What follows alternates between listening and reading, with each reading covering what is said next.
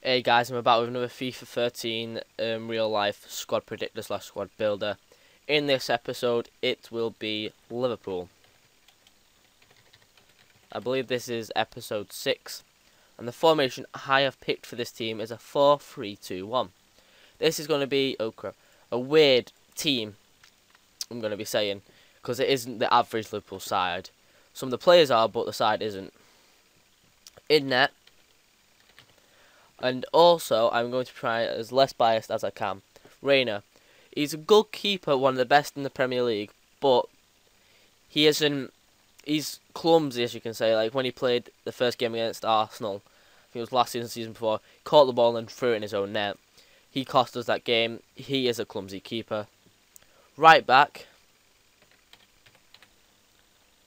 is Glenn Johnson. Now, I'm going to take it to the 80 rated because he he's a good player and he played good, well in the Euros.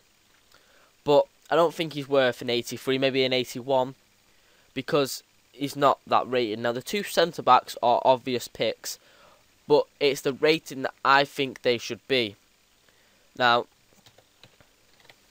Martin Skrtel, an 84 rated, and Daniel Agger, the 85 rated.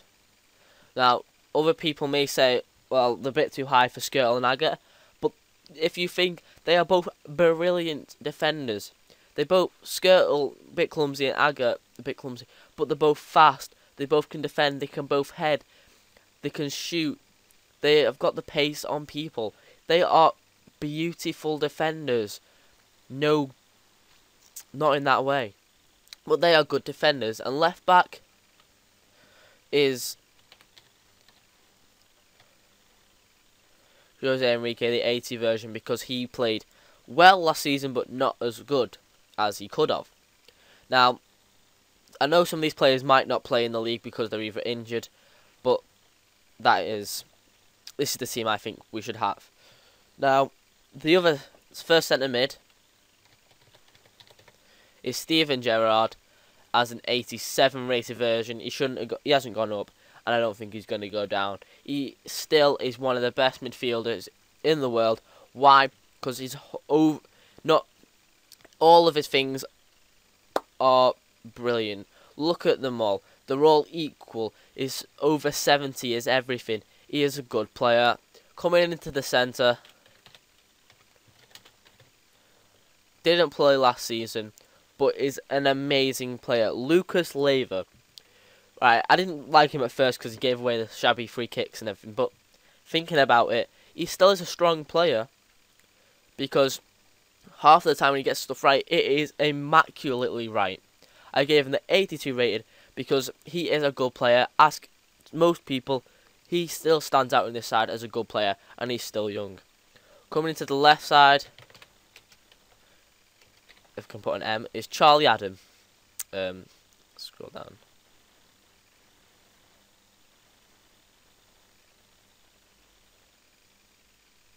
There we go.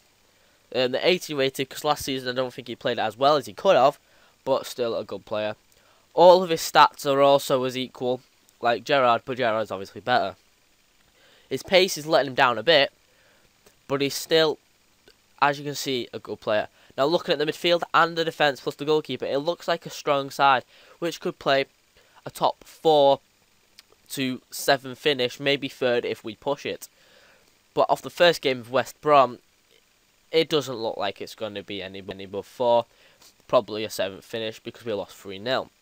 Now, right wing is Fabio Borini. 74, I would give him a 76 because last season he played great for um, Roma. And then on the left wing, a, a player who hasn't been changed to teams yet, but Assaid. So Assaid and Borini, um, or how can I say this? They both strengthen each other in different ways. Assaid's faster, but and got better dribbling. Borini can shoot better, and he'll have be better long shots. He'll have better heading, but um, Assaid will have better passing. It's this team's just the strength in the mix. But on up front is Suarez, the seven, 87, because he, no doubt about him, he is a brilliant player. Now, looking at the side, it is a strong side, standing out of Skrtel, Agger, Gerrard, Suarez, and the other players just backing it up. Asayid, I cannot wait to see in action. He is a beautiful player. Used to play as him on FIFA 12, still do, but I can't because it's broke. But I never thought Liverpool would have bought him. We bought him, and I am over the moon. I am in joy because we have bought him. This is the Liverpool side. A beautiful side. I would say top four finish. But off the first game, I'd say sixth to fifth, challenging with uh, probably Everton. Now, thanks for watching this, guys. If you have any comments on any of the videos on this one, please be sure to tell me on what you would like to change and what team you would put instead of mine. Thanks for watching. Next episode will be Manchester City. There will be some controversial ratings in that. And, um, yeah, thanks for watching. Goodbye.